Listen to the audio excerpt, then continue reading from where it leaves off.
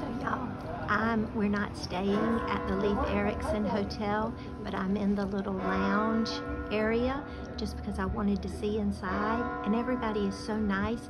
They say we should pronounce it Leif, not Leaf.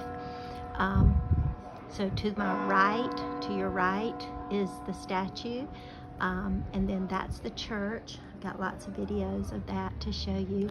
So it is 8 o'clock and it's not dark at all and it will not get dark um, hardly at all. Around 11 a little bit before midnight it'll get a little bit dark but but really um, we're, we're, in what they call the the midnight sun in the summertime and um, so it just won't get very dark.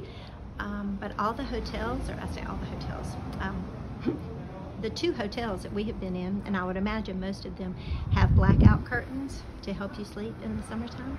And I'll take you out on a little tour um, of this in just a few minutes. But it's real, I'll take you, I'll go up on the street. It's just, oh yeah, I love it so much. Um, so this is looking down the street. So there's the Atlantic Ocean. I wanted to sit up there, but you had to make a reservation. And they kind of laughed at me, like you have to make your reservations weeks, weeks in advance. Um, so I'm really happy to be right here. Talk to y'all later.